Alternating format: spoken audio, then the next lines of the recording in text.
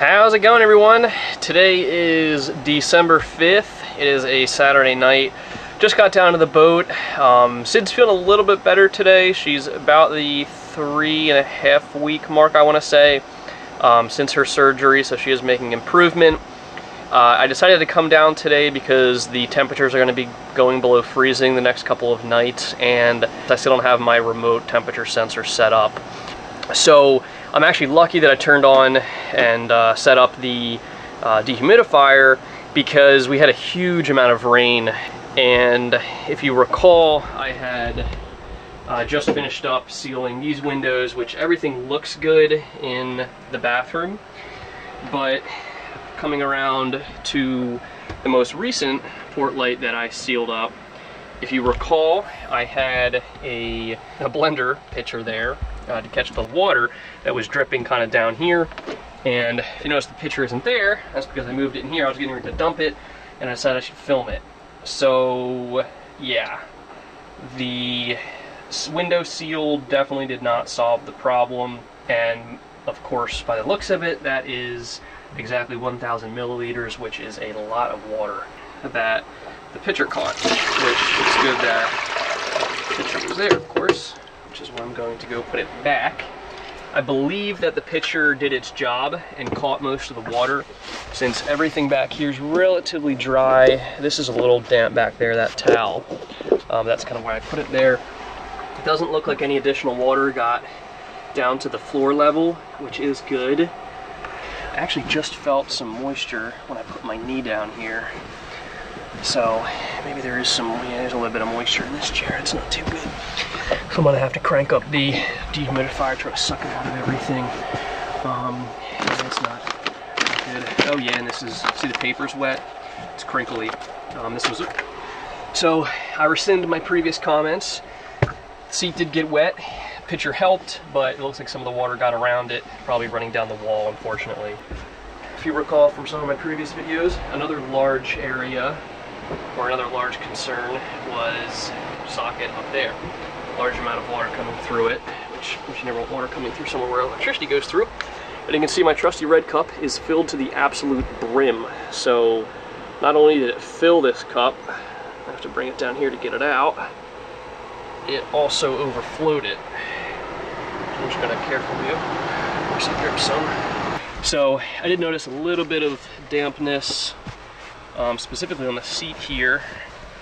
Um, oh, yep, and then some down in these cushions here in between. When I first came on, I also did notice that the dehumidifier, you see the amount of water in the sink, which means it's been running pretty steadily, which is good. It means it's doing its job, but bad at the same time because that means there's a lot of condensation in the boat, um, which is a byproduct of the leaks. So go ahead and dump out this guy here. Of course, the one place where I did get everything sealed up is by far the least important because, I mean, look at the floor. The water just goes down into the shower sump. and like, I mean, if there's water spilled in the bathroom, it really doesn't matter because it's designed to be showered in. Testing the bed out real quick. Now let's see if our above the face port light leaked at all. Nope, doesn't feel like it. And finally, let's check some of the potential spots where water likes to pool in this boat after it rains. So some water likes to come down here by the shaft. There's a little bit, really nothing. Now let's go check the bilge real quick and see how high the bilge has filled. So I usually use that bolt there. See the, the bolt reflecting back. I usually use that as an indicator of my, my water level. You know, obviously I do want to get this bilge dry, but that is going to take some time because I need to seal all the leaks first. It's not going to do me any good if I dry it out and it just fills right back up after a rain. Uh, not, not as good of news as I would have hoped, especially with the, uh, the rear aft cabin port light that I spent a lot of time fixing. So that narrows down our water issues to that one, back here, and back there. And from what I can tell, my fix on the actual uh, ceiling hatches turned out to work. Somebody did comment and say that they think the leak coming from here is because of water coming down through the mast. Definitely a possibility. Um, so my plan this weekend is to get up and seal all of the skylight things here, windows, um, get everything sealed with silicone, and wait for the next rain and see if it is the mast. Because I'd rather double check all the fittings, windows, before I start drilling holes in the mast to allow water to come out. I might try relocating the humidifier here over to that corner. Out of the way of kind of the center of the boat, kind of annoying. And simulating getting onto the boat with one leg. That's another thing I want to do to see if Sid is able to get onto the boat um, without the use of her left foot, which is the one she had surgery on, to get down into the saloon area from the dock. Because if that's possible, then there's the opportunity for her to come on the boat with me um, when I'm here working on it, kind of on the weekends and um, sometimes during the week when the water or when the uh, air temperature goes below freezing. Bada bing, bada boom. Tray's there. Shout out to Fiskars for making some of the meatiest scissors I've ever used in my entire life. Didn't even need to use a saw or anything like that. Just chopped away uh, three cuts and took the piece here right off. Right through the uh, edge and everything. Looking pretty good and like I said should fill or hold quite a bit more water than just that singular red cup. You know, it's the little stuff that really makes you feel like you're actually moving onto the boat finally. So for instance, I don't know, getting stuff like the toiletries kind of organized.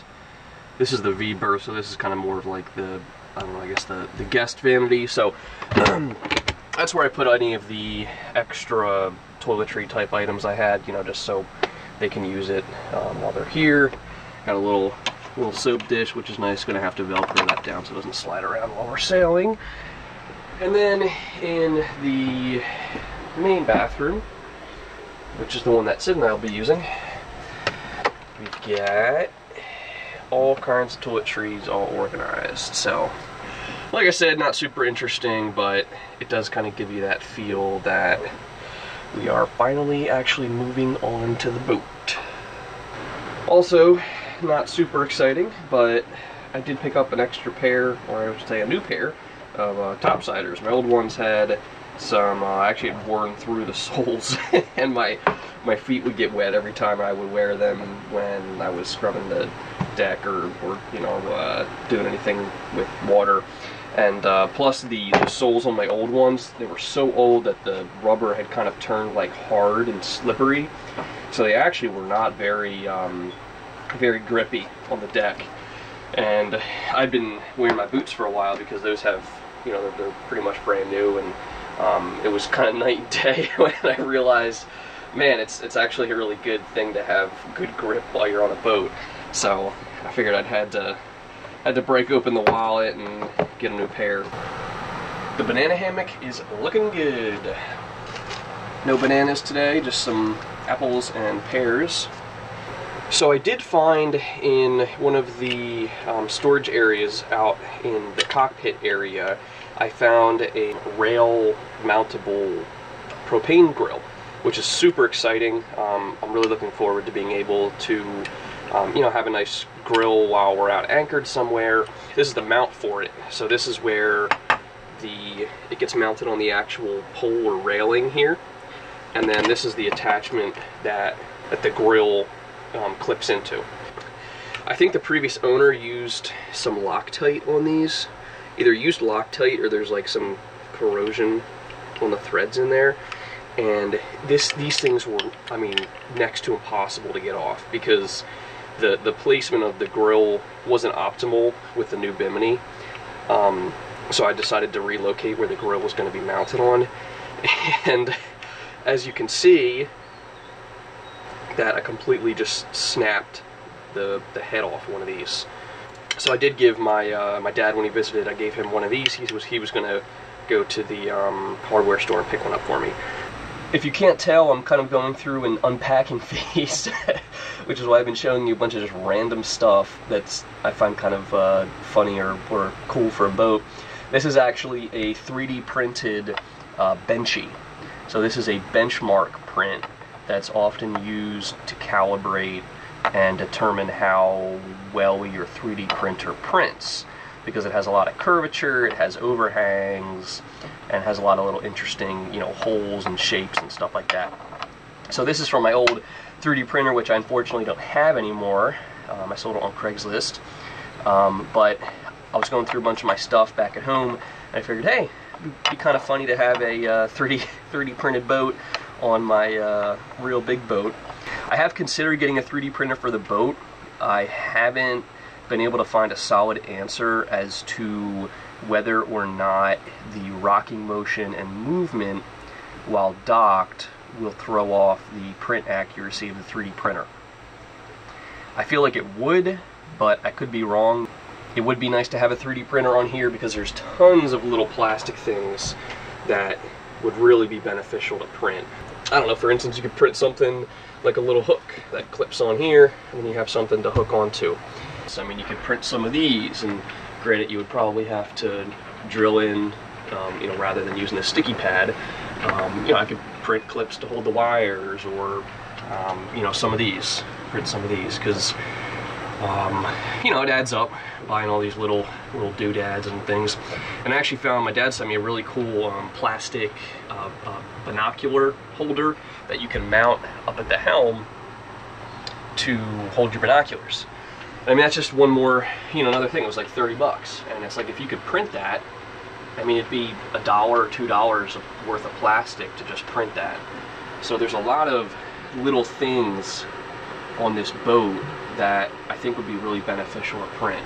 Um, I mean, even something like this. I mean, you know, if one of these snaps, I mean, how the hell are you going to find this oddly shaped piece of plastic online?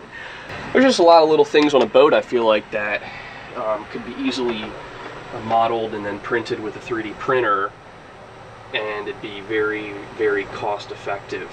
I don't know, I'd love to hear your guys' thoughts if anyone out there has tried it themselves or if they've heard of anyone doing it. Um, I, I, really, I really think it'd be a nice addition to the boat. Um, I'm just right now, as you can see, a little strapped for room, um, so I'm not too, not too sure where uh, where I'd put it, um, or if it would even work on the boat.